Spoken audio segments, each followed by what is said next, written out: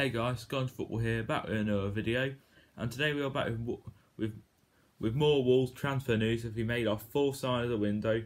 Uh, Wolves have strengthened their defence option with the signing of experienced centre back Craig Dawson from West Ham United. I think that is a very good signing, personally.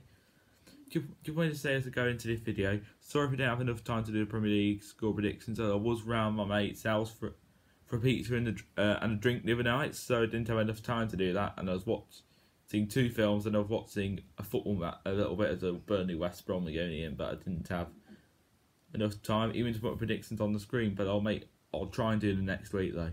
Right. Um. On to squad news now. Just said Craig Dawson has completed Wolves move after joining from West Ham United.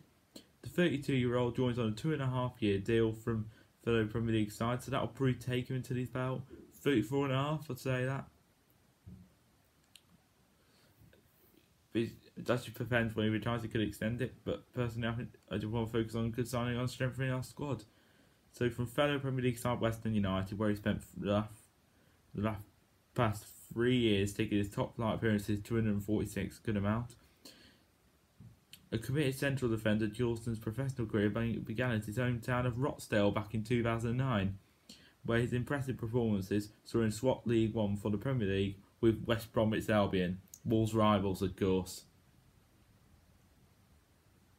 if Dawson's on the pits next, if Dawson's on the pits next season, won't if West Brom come up, because it will be tight as they're doing quite well now at the moment with their form under their new manager. Yeah, he probably will get a lot of booing and stuff now, joining Wolves and stuff, but I don't really mind.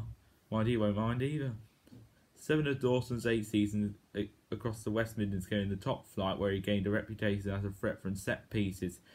He has 52 career goals to his name, as well as his committed defending at the other end of the pitch.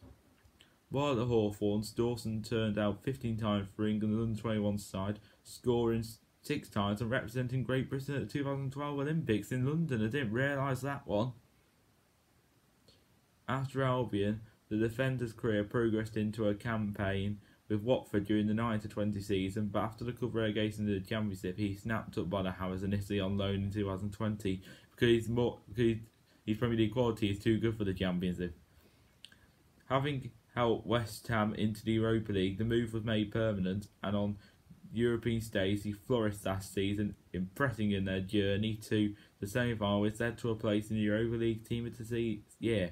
During that Euro European campaign, Dawson caught the eye of now Wolves head coach Julian Lopetegui, whose side were beaten over two legs by West Ham, with the central defender shining in both legs of the last 16 victory.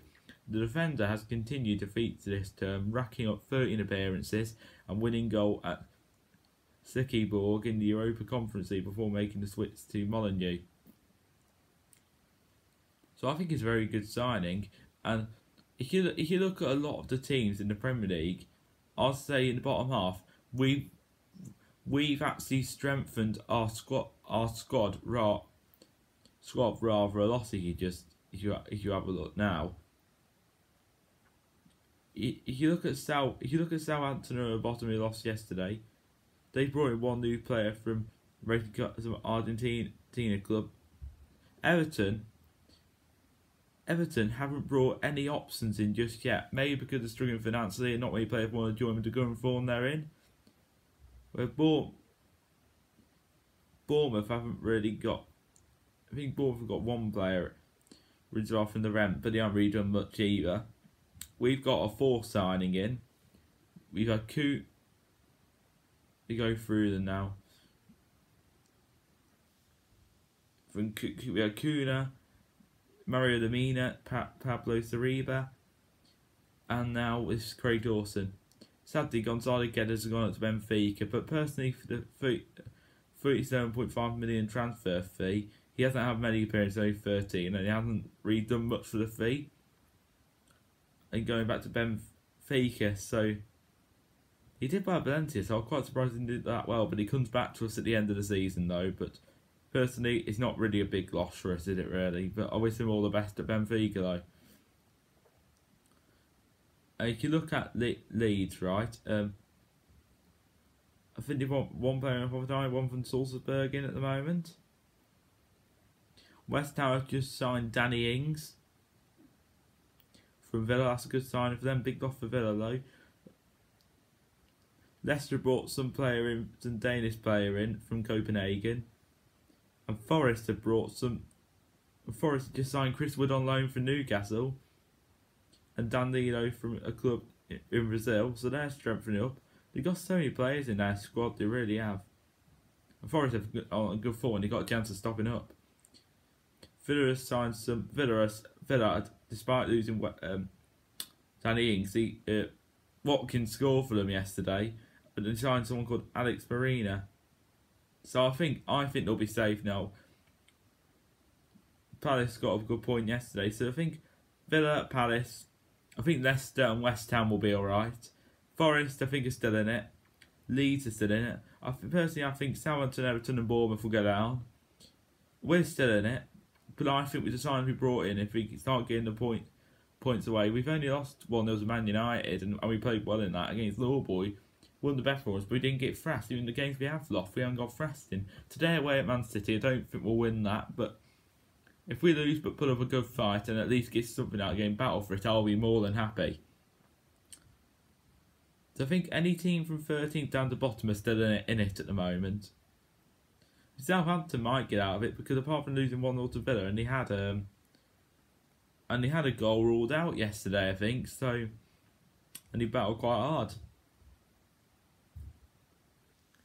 So, so personally, we we Wolves have done the most strengthening up in our squad to stay up, and that if you we need to if you don't spend, you go down.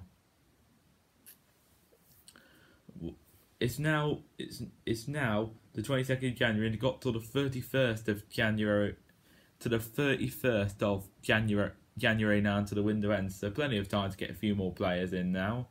Less than ten days to get a few in, but I think January window it's always kind of a panic buying stuff. But if you're in this kind of position like us, I think it's necessary. Personally, I think it is a good option. Really. Oh, with Craig Dawson now. Let let me go over his career now to, to, to give you a bit of an update on this. Originally, he started a called Rochdale St Clements at Rochdale, and he was at Radcliffe Borough Islington for two years. Clipstone on loan, don't know where they are, but that's non-league, I imagine. Rochdale for a year in 2009-2010. Radcliffe on loan for less than a year. Nine years at West Bromwich Albion, 14 goals, 194 assists. Back on loan to Rochdale again from back on he went back to Rochdale for a year, then back to West Brom again. Bolton on loan 2013, 2009 and 2021 for two years. Uh, Watford, but when he went down, he switched to West Ham originally on loan, but signed permanently in 2021, so he's there for two years, and now, of course, at Wolves. He's also represented the England under 21s between 2011 2013, and he's featured the Great Britain Olympics in 2012, in the ones in London. Olympic Stadium where West Ham now play, of course, that's their home. So I hope you've familiarised yourself there and giving familiarised everybody here and giving somebody an update on, uh, on what sort of player he is. So I'll wrap the video up now. So you did all enjoy the video, do go like, do subscribe to the channel, and turn your notifications every time I make a video. I'll see you in the next one.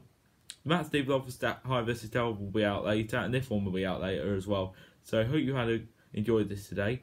Do give this video a like, subscribe to the channel, turn your notifications every time I make a video. Have a good one, guys. See you in the next one. Bye, everyone.